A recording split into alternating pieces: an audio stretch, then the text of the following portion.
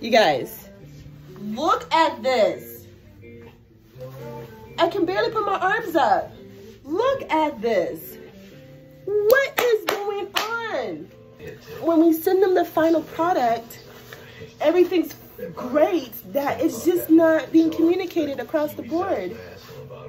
What is going on? What is going on? My daughter was diagnosed My arms are like, ATRT. There's not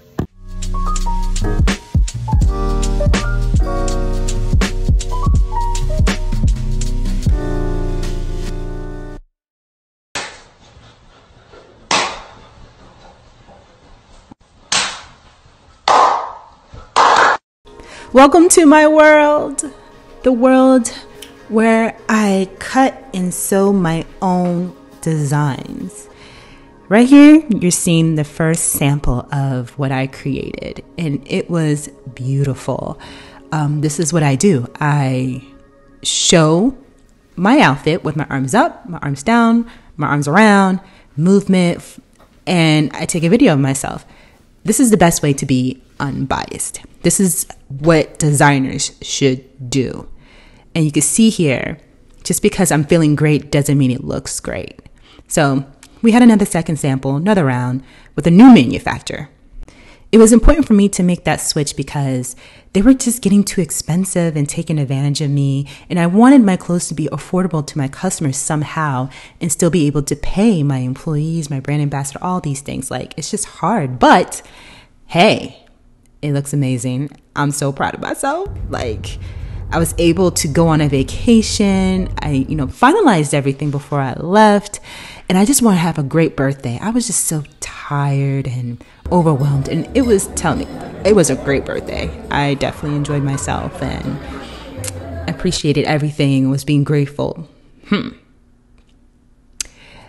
That part right there. Sitting there listening to people on what happened. That was good enough. Like, what happened? So Explain it to me. How. Ah, I was just overwhelmed. I was going through a lot, a lot. I was taking a train back home t- at 2:30 in the morning.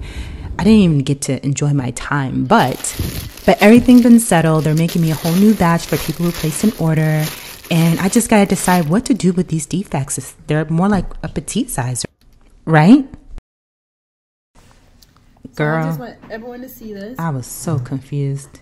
It just looks everything Like, like this low. doesn't happen to me.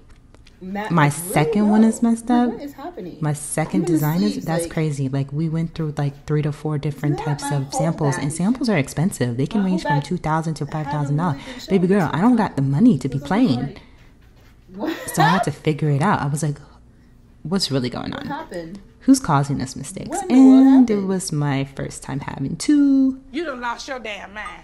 When you get your damn mind, you call me. Yeah, it had to be done. But this is the life. This is what I go through all the time. Like, you just have to be thankful and grateful for people who place an order and who's there for you to, and really, really support you. And I appreciate you guys just watching this video and like, comment, subscribe, share. Mwah.